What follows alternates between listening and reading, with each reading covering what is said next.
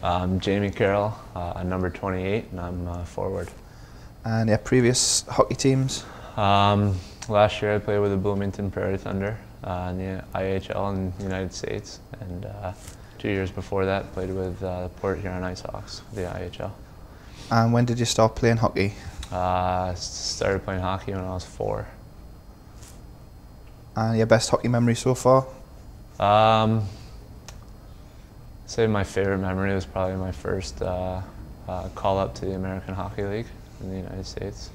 So my first game in the AHL was probably my favorite memory. Um, outside of hockey, any hobbies that you have? Uh, I like like slow pitch softball in the summer. Uh, I don't really have too many hobbies to be honest. hanging, Uh, out, hanging out with Scott Langdon is pretty fun. Um, musical tastes? Uh, gosh, I, it's so cliche, but I, I listen to everything. Uh, I like everything from, you know, I like rap and techno, and then I like, you know, Tom Petty and rock and roll and stuff like that. So a little bit of everything. And taste in food? Uh, I'm pretty, pretty plain and simple. I like the uh, traditional, just like Italian, and uh, always seem to be eating chicken and pasta and stuff like that. Plus, I'm not a good cook, so the easier the better. Yeah, ideal holiday destination? Uh, gosh, I don't know. Uh, guess you can't go wrong with you know a beach, and then uh, I went to like even like I went to like Colorado last last summer, and that was pretty awesome too. And who would be your dream date? Uh, dream date, uh, probably Jessica Sharp. Any superstitions, either hockey related or just in general? Uh,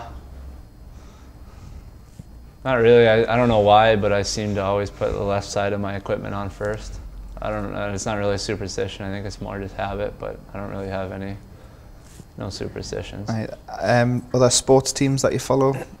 Uh, big Boston Red Sox fan and uh, New England Patriots. So you're now a Liverpool football fan as well? Liverpool football, no. Uh, I don't really know anything about No. soccer, to be honest. Um, what about sporting heroes? Um, I was always a huge Mario Lemieux fan growing up, so he's probably probably my favorite. And yeah, game day ritual. Um, I seem to slave slave in the kitchen for my roommate, uh, Scott Langdon. I make him pregame meals every day, and then uh, I sleep a lot. I, you know, take a good two three hour nap, and uh, I don't know, just kind of. I like to be my, be be by myself and just kind of relax. Sounds good. Jimmy Yeah. Carroll again, thank you very much. Yeah, thank you.